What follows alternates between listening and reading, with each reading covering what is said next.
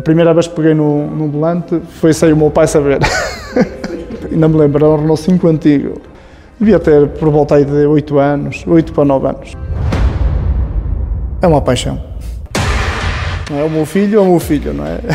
A família é a família, mas a seguir é os carros. Quando estou aqui em Montalegre, sinto um bocadinho mais de pressão, não é? Quer dizer, correr nesta pista com aquela multidão de gente é um bocado intimidante. O piloto João Pires é o meu convidado esta semana. Vamos aí para a grelha de partida, a pessoa olha para as bancadas e toda a gente está a olhar para nós, não é? Tem representado Montalegre no Mundial de Rallycross, mas é na competição galega que dá cartas. Já fiquei em primeiro, já fiquei em segundo, terceiro, pronto, é assim, o campeonato galego é um bocado forte.